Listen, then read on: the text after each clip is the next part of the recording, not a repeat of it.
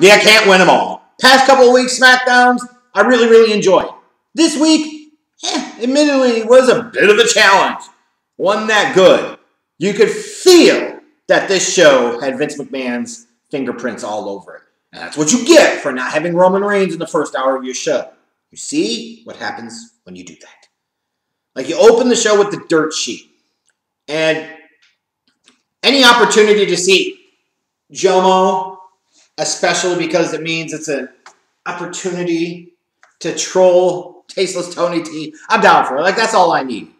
Otis coming out with his body built by steak, rampaging because Mandy Rose got traded to Raw, and it's clear that obvious that Miz and Morrison had something to do with that. Like trying to troll at him, trying to get after money back briefcase. I'm good with this.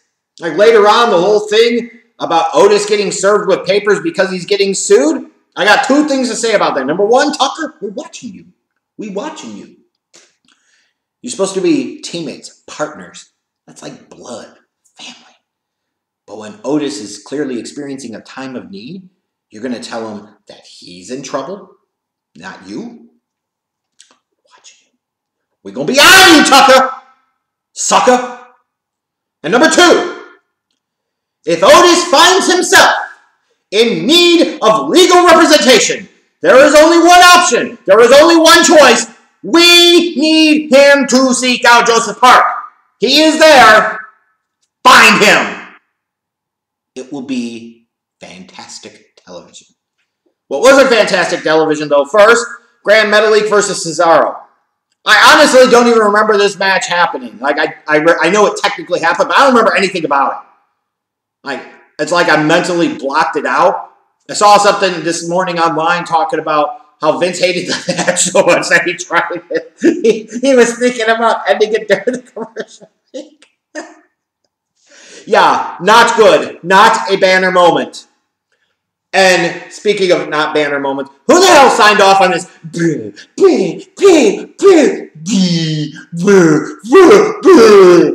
And I thought I had a punchable face. Good God Almighty. Matt Riddle is what happens when you try to rip off RVD's gimmick and you've got none of the appeal and none of the damn talent.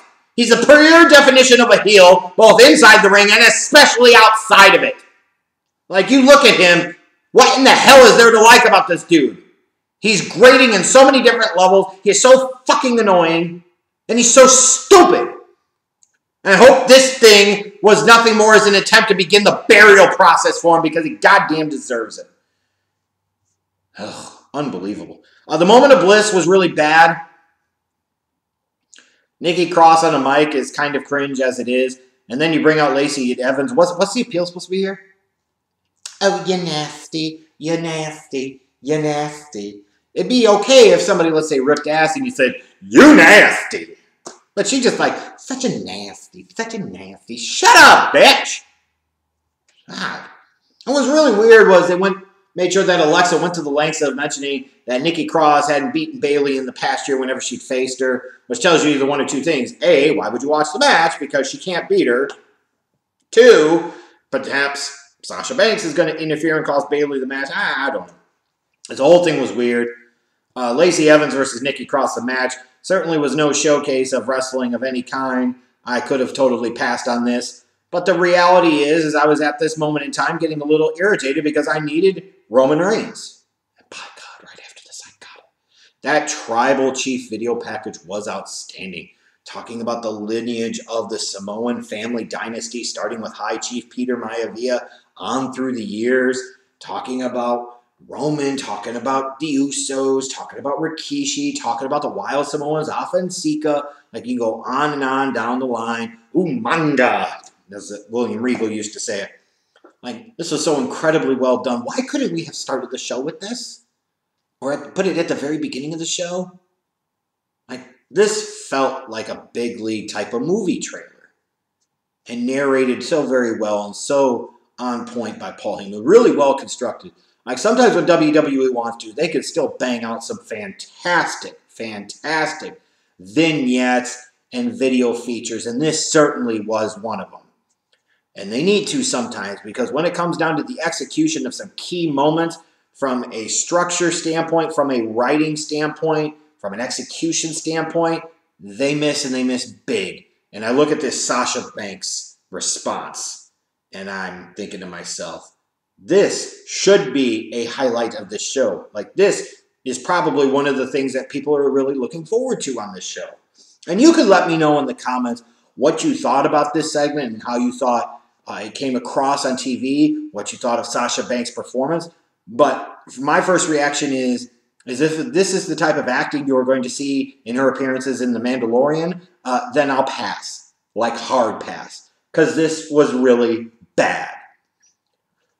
You're supposed to be the boss, but instead you're acting like this whiny, whiny, sniveling little bitch. You got a neck brace on, but you're moving your head from side to side. Like so many things about this just did not work. And when you're looking into something like this as being one of these moments where you can get real in wrestling and make it look real and feel real, this felt so fake and so hokey to the point where when Bayley came in and attacked her again, I'm actually kind of happy Bayley came because she ended the segment. Now Bayley's the freaking baby face here. Like to me, Sasha Banks should have come out and been, you know, rather indignant and pissed off, but not in a whiny way and not in a crying way and not in a bitchy type of way. She should have said, you know what? Bayley's right. She got me before I got her. That'll be the last time that ever happens. And I promise you, you took it a whole other step too far, but I'm the boss, bitch. Like that type of thing. Like if you do that, you're saying, oh, Sasha Banks is kind of the boss. She's hashtag legit, hashtag boss, hashtag badass. Instead, coming out of that segment, you see absolutely none of that. Bayley's the one that you enjoy more than Sasha Banks. It's just all messed up. So that was a disappointment for me. I thought it was going to be a lot better than it ultimately was. Uh, here's what I need to understand, though. Is why does Sami Zayn have to wrestle AJ Styles? AJ Styles has, has no current claims on the Intercontinental Championship. Sami Zayn is the actual real deal legit Intercontinental Championship. Jeff Hardy's the fraud. Sami Zayn's the one that won the belt and never lost it. Jeff Hardy yet is walking around with his own dollar store version of it. Why does Sami Zayn have to wrestle AJ Styles? Why is AJ Styles even involved in this? Who's the real Intercontinental Champion? That's the whole plug. That's the whole storyline. That's what it should all be about a Clash of Champions. Putting three people in here is just dumb. And of course, AJ Styles had to resort to some highfalutin shenanigans to beat SmackDown's number two, numero dos babyface and Sami Zayn. I smell an anti-Canadian, anti-Syrian conspiracy here in WWE. What in the name of COVID is going on? And then after the match, how dare Jeff Hardy launch this savage, vicious, blindside, unprovoked attack when it wasn't called for?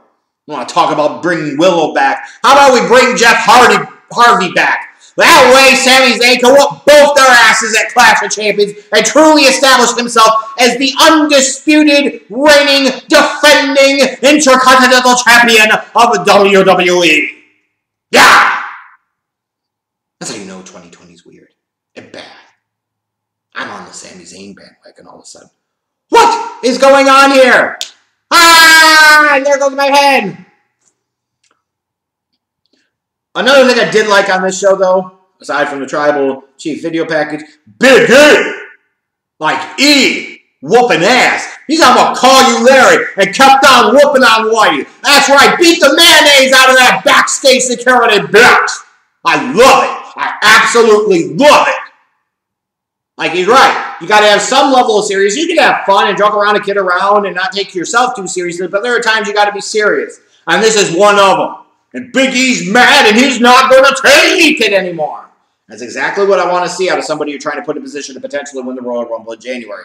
Yes! Fantastic. Which brings us to the main event, which is, of course, the highlight of the night. Because, of course, it had Roman Reigns. I mean, what else did you expect? Like, even when Roman Reigns came out, like, what a nice guy. He brings Pro, Paul Heyman out, gets him a payday for appearing on the show, and saves Paul Heyman's voice. He understands things like laryngitis can be serious. So Roman's like, take some time off. You already did that great video package earlier. We don't need to hear you speak a second time. Let's keep it fresh. And let's keep your vocal cords fresh. And I'm going to say something short, sweet, and to the point. Bam, boom, and feel like a big deal. And that's exactly what Roman Reigns did. Fantastic. And I appreciate how in this match, last week, for example, in the main event, you know, he sat there and he got delayed. Wasn't his fault. But he came out just in time to tag in to give his cousin, his fam, Jey a rest, so that way Roman could ensure that his team achieved the pinfall victory. And this week, he was there from the beginning, following the rules of the match. It was a Samoan street fight, so I don't want to hear it. Following the rules of the match. This time, Roman hit the spear, which then allowed Jey to hit the splash and allowed Jey to get the pinfall victory for his team. So here is Roman sharing the glory. The anti Cena, the anti Hogan, the anti Austin. He's distributing the wealth. He is sharing the spotlight and glory with others. That's a hero to me. And then look at what happened afterwards. The warm, long embrace after a hard fought victory. Like, you could feel the emotion there. Like, these dudes go way back. It was real heterosexual family man love there. Like you could feel it. That's that's that's a bro hug. And Roman smile like fantastic. And even when Jey was getting out of pocket a little bit and starting to get his eyes a little bit bigger than his balls, sitting there breaking superstition and tradition. Don't touch the title when you haven't won the title. Doesn't work in the Stanley Cup very well. Doesn't work in other sports. You should not be doing it here. Roman, you know, he could have whooped his ass right there and would have been entitled to do so because it's his locker room, it's his island, and he has to enforce the superstitions and discipline of his island. But he didn't do that. He said everybody makes mistakes. Jey just got caught up in the emotion of the moment. He, he could have done more, but he didn't, and he let things play out. Because that's what good guys do. And some of you are going to point, and I know it's coming. Well, what happened when Roman was sitting there and giving this scowling face as Jey was walking up the ramp? Well, tell Jey to stop letting those Samoan sidewinder farts off right before he gets out of the ring. What the hell is Roman supposed to do? Is he going to sit there and smile, show off his new veneers? and let that freaking Samoa ass taint get up into his nostrils? No, Jey trolled him. It was a hail maneuver. Of course Roman's going to look upset. And when he looks to Paul Heyman and kind of gives him the look, he's like, all right, I got something for him. There's going to be a receipt. Could be next week, could be Clash of Champions. I'm not telling you. Roman Reigns, top babyface in all of professional wrestling. There are two opinions you can have on that. The right one, and then thinking like a fool that he's not. Roman Reigns is fantastic. The main event was enjoyable. Loving the dynamics of this. Other than that, not a lot of great on this show. Past couple weeks were much better than this week. You, you could tell that this felt like it had Vince's randomness and last minute changes all over it. It really did. Um, just kind of weirdly mapped out. Not good. Let's hope next week, is, with it being the go home show for Clash of Champions, it's a little bit better than this offering because this was not up to the standards of the past couple weeks.